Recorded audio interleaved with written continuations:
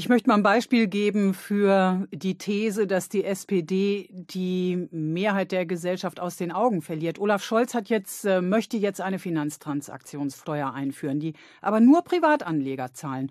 Und zwar auch die Mitte der Gesellschaft, der ja seit Jahren, Jahrzehnten sogar gesagt wird, sie solle auch privat fürs Alter vorsorgen und das mit Aktien tun will. Die Spekulanten aber, die bleiben verschont. Kann die SPD sich wirklich so eine Politik leisten, die hier doch die Mitte der Gesellschaft trifft?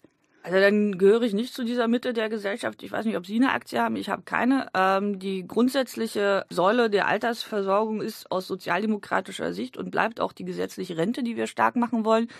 Und ansonsten haben jetzt in den letzten Tagen auch viele Kollegen von Ihnen Beispieldiskussionen Beispiele ausgerechnet. Also wenn man 10.000 Euro anlegt, sind es wenige Euro, die man dann für diese Steuer zahlt. Und äh, insofern glaube ich auch, dass das eine Diskussion ist, die am Kern des Problems vorbeiführt.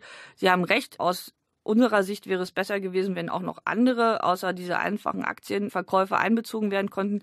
Bloß das war momentan nicht darstellbar. Sie wissen ja, Olaf Scholz versucht, diese ähm, Steuer einzuführen mit auch vielen weiteren europäischen Ländern. Und da muss man natürlich erstmal klein anfangen und dann gucken, ob man sie peu à peu auch ausweiten kann.